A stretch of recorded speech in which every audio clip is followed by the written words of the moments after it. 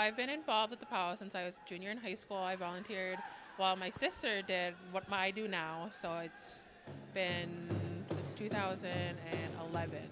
My favorite part about this whole thing is bringing the campus community together, bringing around the Mount Pleasant community together, and all the people that come from the different parts of the United States and Canada. It's fun to see it go from the beginning in January until sometimes Sunday afternoon. I get to see it all come together and everybody's having a great time dancing, singing, laughing, sharing memories with each other, and just kind of seeing their powwow family that they haven't seen all winter. And this is kind of the start of the powwow season for them. So it's really amazing to see them all come together and this all happening here um, in my community, well, my school community here at CMU.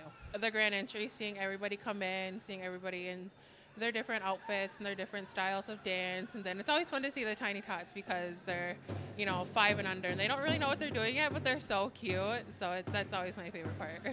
Coming from a Native American background, it really means a lot to me to be able to connect with my roots. I didn't really know my tribe growing up. So like coming down here, it's great to be able to identify and like I love the family orientation that comes with this and all the heritage that you can learn just by watching.